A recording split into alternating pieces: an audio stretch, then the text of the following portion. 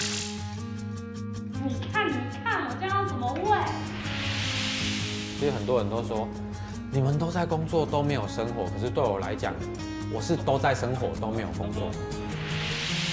你必须成熟一点面对工作这件事，所以就先拿掉所谓你是我男友哎这样的那个期待。我这件事情必须要做到九十分的水准才可以放心。难道因为你是我的女朋友，我就允许你做到七十分吗？